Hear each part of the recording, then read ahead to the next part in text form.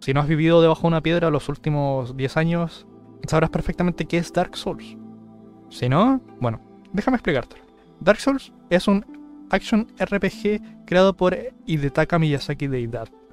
Dark Souls como tal no necesita ninguna introducción. Los únicos detalles que creo que son importantes de destacar es que fue lanzado el 22 de septiembre del 2011 y fue el primero que utilizó el nombre de Dark Souls de la trilogía, que fue más tarde. Este juego es muy querido por la comunidad especialmente por mí, y es considerado uno de los mejores juegos de la franquicia, de la compañía y de todos los tiempos. Igual puedo entender un poco que haya gente detractora de estos argumentos que diga que no, que el Dark Souls 1 es horrible, que es un juego muy tosco, así. Así como yo critico a Monster Hunter Freedom Unite por ser un juego horrible y muy tosco, hay gente que critica a Dark Souls 1 por ser un juego muy, muy horrible y muy tosco. No sé, men. Yo personalmente soy más del argumento de, joder, si el juego, si lo he pasado bien con el juego, el juego es un juego bueno. Y es por esto que no te voy a traer una reseña 100% negativa de todos los juegos que al menos he jugado. Porque para que te quiera traer una reseña del juego, el juego mínimamente tiene que haberme interesado. Pero de esta manera quiero dejar un poco en claro de que el título es en efecto clickbait, así que en este minuto lo único que puedes hacer es darle al botón de suscribirte y activar la campanita para no perderte mis próximos videos. Y sí, es cierto que Dark Souls, como hack and slash, es bastante lento. En ese sentido, se parece bastante a Monster Hunter, lo creas o no. Sin embargo, una de las mecánicas principales de los Dark Souls es el morirse. Sí, morirse es una mecánica. Increíble, revolucionario, nunca antes visto. Por esto también es bastante común ver en internet muchos artículos y algunas publicaciones y comentarios de algunos usuarios diciendo que Dark Souls debería tener un modo fácil. Por ahí hay algunos creadores de contenido que aseguran que Dark Souls ya lo tiene de base, pero contradictoriamente están yendo contra sus propios principios al decirte una forma cómo jugar, cuando realmente Dark Souls es como la Biblia, no hay una forma correcta de interpretarlo o jugarlo. Eres tú contra el mundo y si eres lo suficientemente inteligente puedes tener al mundo por la rienda, pero si no, el mundo eh, va a estar teniéndote la rienda a ti. Es por esto que Dark Souls a lo largo del tiempo ha sido considerado un juego que no es para todos, es un juego muy difícil, muy retador. Por eso, yo, el Panacepu, estoy dispuesto a sacrificarme por el equipo y ver si es realmente malo. Dark Souls. Y lo primero que quiero destacar de este juego es su banda sonora. Y una de las cosas que hace especial a la música de Dark Souls es la manera en la que te cuenta su historia. Como tal, el juego no te la va contando con personajes que te van diciendo, eh, eh tú, eh, tú eres el no muerto elegido y tienes que salvar al mundo de la devastación y restaurar la llama y, todo eso. No, el juego te suelta un mundo hostil y tú tienes que ver cómo te las apañas. Ya con el hecho de que estés mínimamente en contexto de lo que pasa, o sea, de entender el contexto del mundo, con eso ya es más que suficiente para tener el bichito que te permite escuchar la música. La primera canción que escuchamos en el juego, contando el tutorial, es una de batalla y viene acompañada del demonio del asilo. Esta canción es tensa y su propósito es ponernos alerta, estamos en peligro y somos insignificantes ante esta calamidad. Una vez lo derrotamos y conseguimos salir del asilo, tenemos un gran contraste al llegar al santuario Enlace de Fuego, con una canción mucho más relajada, mucho más tranquila, la cual nos da a entender que estamos a salvo en el santuario, porque el resto del mundo está en silencio. Y las únicas canciones que escucharemos en el juego será cuando estemos en peligro. Siendo que el único lugar a salvo en el mundo y que tiene una canción tranquila sea el santuario.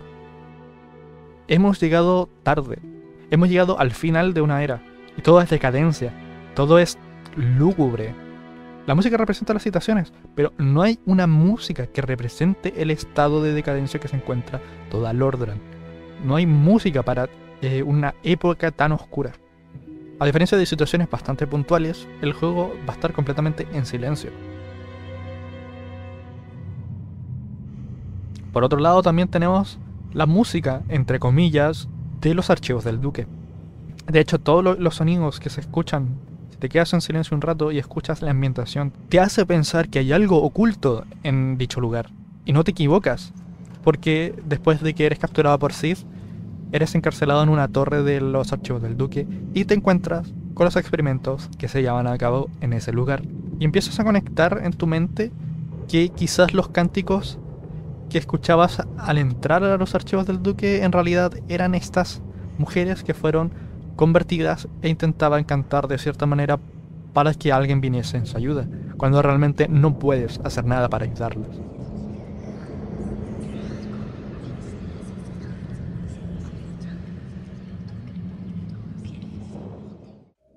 Lamento si me enfoqué mucho en, este aspecto, es que me encanta mucho el lore de Seath el dragón descamado. Eh, la idea de un dragón que sea a la par mago y un erudito eh, fue algo que conceptualmente me encantó demasiado. Ahora pasemos a la parte visual. La estética medieval es como lo que más me llamó este juego. Los dragones, caballeros y magia es uno de los principales atractivos que tiene este juego. Y esto en parte se lo debe a la inspiración de Berserk, que es una obra que comparte esa estética medieval con ese toque oscuro que caracteriza a la saga Souls. Como mencioné anteriormente, la historia de Dark Souls nos sitúa al final de la Era del Fuego. Y de la mano con la música, em, la ambientación y la disposición del entorno nos va explicando este contexto de caos y oscuridad. Por poner un ejemplo, tenemos la zona del Burgo de los No Muertos. Esta zona inicialmente era la parte residencial del Ordran, y a medida que nos vamos adentrando en, el burgo, eh, vemos que los no muertos provienen de la parte más baja. Y esto tiene sentido, ya que en cuanto a la narrativa, aquellos que eran marcados por la señal oscura eran relegados a la marginalidad y los iban tirando hacia las profundidades. Sin embargo, ahora que todos los humanos que conservaban su humanidad huyeron del Ordran o murieron, te das cuenta que como los no muertos se han ido apoderando poco a poco del el burgo y de la parroquia. Sin embargo, es cuando llegas a la parroquia que te das cuenta que nadie está salvo de la maldición, ya que los caballeros que custodiaban la parroquia también han sucumbido a la maldición. Todo esto que te acabo de contar es la primera hora de juego, y se vislumbra en cada uno de sus mapas. Y literalmente, mientras voy avanzando por las zonas del Ordran, sabiendo todo el lore que hay detrás de este juego, solo puedo decir puro lore. Y ni decir sobre el DLC, Además también mencionar que el apartado visual ayuda al jugador a saber dónde ir, ya que en el santuario inicialmente podemos ver dos o tres zonas, dependiendo cuánto exploremos los alrededores del santuario, a los cuales podemos ir. Esto y, eh, bueno, gracias al NPC del principio, al caballero cabizbajo que está junto a la hoguera en el santuario enlace, que te dice que tienes que tocar dos campanas, una que está arriba, arriba del todo en la parroquia, y otra que se encuentra abajo en las profundas marismas ponzoñosas de Ciudad Infestada. Cuando lo jugué por allá por el 2014, la idea de enfrentar monstruos gigantes con una espada eh, me encantó, sobre todo por combatir contra dragones. Sin embargo, este aspecto de los dragones en Dark Souls está bastante desaprovechado. Solo hay que mirar la zona del Valle de los Dragones, que es un pasillo, hay dragones en un puente y eh, enfrente hay una puerta gigante que te lleva a Nuevo Londo que es, un atajo.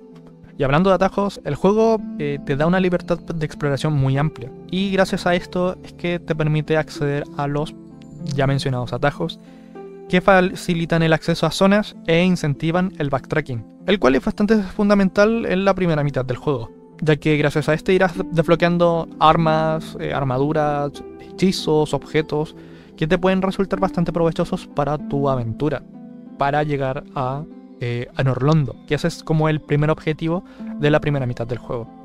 Para facilitar esta tarea, como he mencionado, es vital el uso de la llave maestra. Un objeto que puedes obtener por defecto en la clase de ladrón o escoger como regalo en cualquier clase. Ojo, menciono esto de que viene por defecto en la clase de ladrón porque hay mucha gente que se escoge la clase de ladrón y se escoge la llave maestra, cuando realmente están perdiendo la posibilidad de escoger otro eh, regalo inicial como lo sería el anillo diminuto, que te aumenta un poquito los PS al principio del juego. Yo que he jugado este juego hasta el cansancio, me resulta fácil avanzar hasta Anorlondo, siendo en este punto donde se me hace más difícil el juego. Específicamente en el combate contra Orstein y Smaug, que es una batalla que me ha costado desde siempre.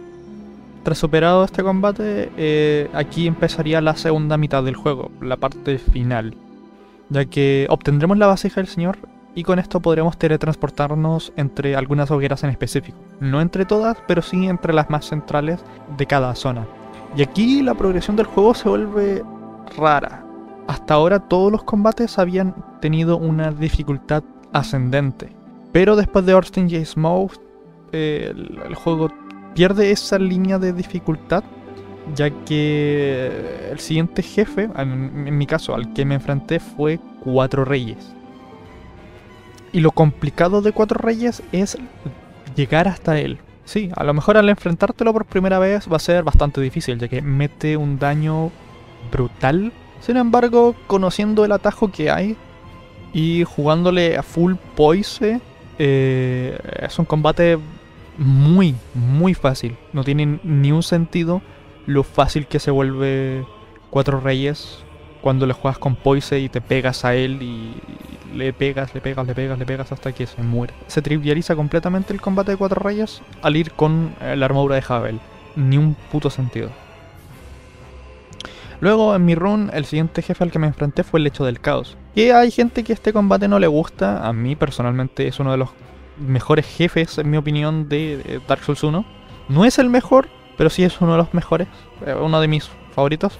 Porque eh, no es un combate como tal. O sea, hasta el momento solo nos hemos enfrentado a enemigo X, pegar y rodar. Pero la propuesta del combate puzzle del hecho del caos es cuanto menos curiosa. Y la verdad yo agradezco que pongan un, respiro de los jefes tradicionales de la saga Souls, como lo es eh, el hecho del caos. Porque la verdad, creo que a mí personalmente me gustaría ver más combates puzzles de este estilo eh, que los típicos eh, pégate a hostias contra X enemigo. Y en esta misma zona también tenemos a descarga incesante que, bueno, es el extremo opuesto. Descarga incesante, gente, yo considero que está muy mal hecho. Está muy, muy, muy mal hecho. Porque si lo juegas, si te enfrentas a él de forma normal, como deberías jugarlo sin buguearlo, es absolutamente difícil e imposible. Es químicamente imposible vencerlo sin buguearlo que forzosamente tienes que buguear a, descarga incesante, si no, no lo pasas. No tiene sentido. Una de las principales cosas que hace injugable el combate de descarga incesante es su hitbox, la hitbox de su brazo. Eso y de que cada golpe tira una, una onda expansiva de fuego que te, va, que te puede pegar a través de las paredes aunque estés muy lejos. Que aquí siento que es dificultad bastante artificial. Creo que si el combate de descarga incesante se hubiese parecido un poco más al del lecho del caos, tipo que sí hayan incluido la mecánica de que se quede atascado en algún punto y que te pudieras trepar a su brazo y qué sé yo, pegarle en alguna parte en la cabeza y le vayas haciendo daño, te caes y repites, creo que hubiese sido un mejor combate de lo que es actualmente. Desconozco sinceramente cómo pudieron haberlo mejorado de esa forma, pero bueno. Luego está el combate de Nito, que es como uno de los mejores combates de esta parte del juego uno de los mejores y yo me lo dejé como para el final. Es un combate que te castiga por alejarte, pero tampoco te la pone fácil al acercarte. Es un combate que te premia si eres un jugador que ya se ha pasado una vez Dark Souls, pero te exige bastante si es tu primera vez en Dark Souls. A mí personalmente en esta run me encantó mucho el combate de Nito. Eh, le peleé 1v1 sin camiseta con un arma de fe y él con sus hechizos. Creo que es uno de los mejores recuerdos que tengo de, este, de esta run nueva que hice para hacer la reseña. Y antes de Win me enfrenté a Seth el Descamado. Uno de mis jefes favoritos, no es uno, es mi jefe favorito del Dark Souls 1. Ya que nuevamente de manera similar al hecho del caos, este tiene una interacción adicional o aparte al típico combate tradicional de los Souls, añadiendo esto del cristal que le da la inmortalidad. Y a esto sumarle su lore, su historia, de que fue un dragón que traicionó a los suyos, aliándose con Win, el señor de la luz solar, y que a raíz de esto se ganara el, el título de duque. Y teniendo a este dragón viviendo tan cerca de la capital, esto obviamente generó mucho recelo entre los aliados de Wynn, el Señor de la Luz Solar. Uno de ellos siendo Havel, la roca, quien desaprobaba completamente el que Wynn se haya aliado con un dragón, pues después de todo, aunque los traicionó, este también debía eh, ser asesinado por ser un dragón. Y que no se confiaba ni un pelo de Sith. Hay una teoría también que pone a, a Sith como el padre de Priscila, la mestiza, y esto tendría un poco de sentido, ya que la primogénita de Win, eh, y Seath hayan tenido un romance del cual haya nacido Priscila, es obviamente un, amor no correspondido, porque eh, Win estaba en contra totalmente del el mestizaje entre dioses y dragones. Esto provocó que es, de cierta forma, Sid y Guinevere intentasen ocultar a Priscila en el mundo pintado de Ariadnis. A esto sumarle que Havel seguramente debía haber estado buscando una forma de, de culpar a Sid y, ponerlo en contra de, de. Y al no haber podido conseguir demostrarla ante Win, Win haya perdido todo el respeto por Havel y lo haya encerrado en la torre del Burgo de los No Muertos. Creo que esta es la sucesión de acontecimientos que mejor calza con lo que se ve en el juego pienso que la Blanca Vía no dejó de hostigar a Sid y a Guinevere. Y si bien Guinevere abandonó la Anorlondo, Windolin, el hermano menor, no lo hizo. Pienso yo que él creó la facción de las espadas de la luna oscura para proteger más que nada a Priscila de los emisarios de la Blanca Vía, que seguían activos después de eh, que los dioses abandonasen a Norlondo. Y todo esto eh, puede que haya generado que Seath haya visto a los aliados de Win eh, nuevamente como unos enemigos y que se haya empezado a investigar y a secuestrar posiblemente a las guardianas del fuego que servían a la Blanca Vía, a modo de venganza convirtiéndolas en criaturas deformes, así como aquellas criaturas a las que la Blanca Vía perseguía, como monstruos y criaturas impuras.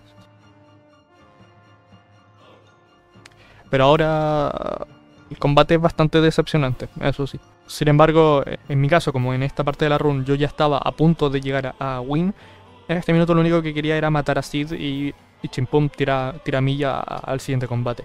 Esa era mi mentalidad en ese proceso. Por eso el combate de Sid a mí no me disgustó, pero tampoco me pareció un excelente combate. Simplemente me gustaron los aspectos que acabo de destacar.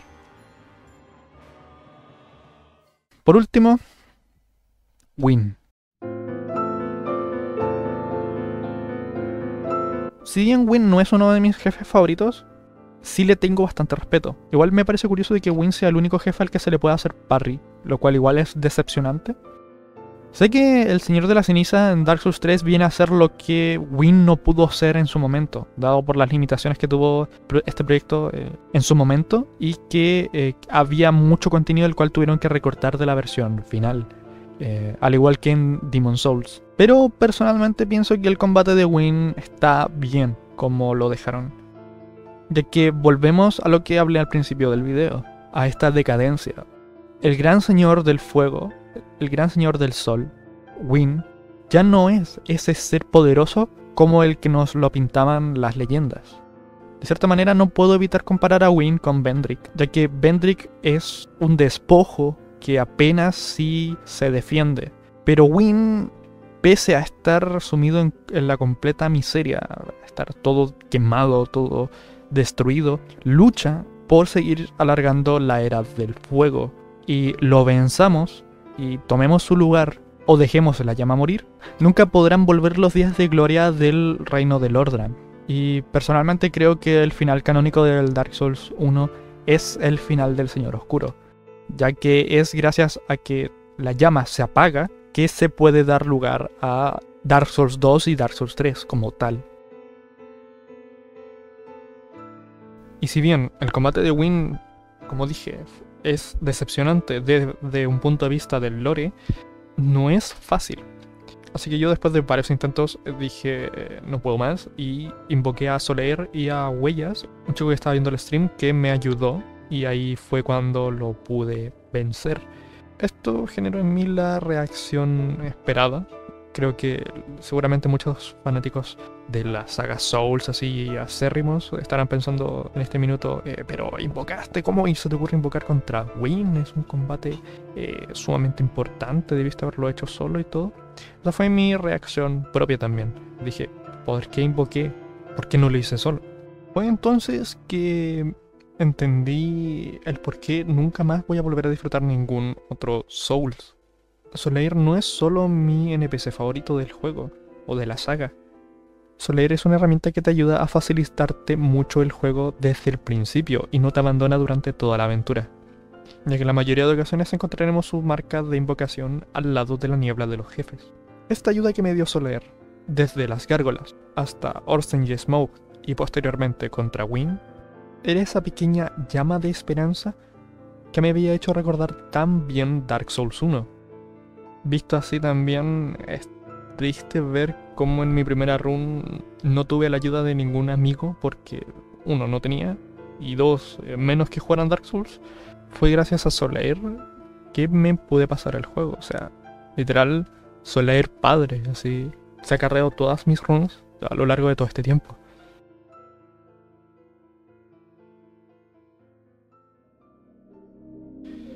Y bueno, para ir terminando, mandar un agradecimiento especial a Huellas, que me ayudó en esta run en directo, que eh, también estuvo ahí contra Orsten y Smoke en los momentos más duros de la run. Así que también un abrazo y un saludo para él. Eh, y a ustedes también, por haber llegado a este punto del video. No puedo terminar esta reseña con un visto positivo ni uno negativo. Dark Souls es Dark Souls y no puedo recomendarlo o criticarlo por lo que es, ya que es un juego bueno, pero no excelente. Creo que como todo en realidad. Así que nada, si te gustó el video no olvides dejar tu buen like, comentar y suscribirte que ayuda a potenciar el canal. Muchísimas gracias a todos, de verdad. Dicho esto, me despido y les mando un besazo, un abrazo psicológico y no soy Dross, pero te deseo muy buenas noches. Nos vemos. Hasta luego.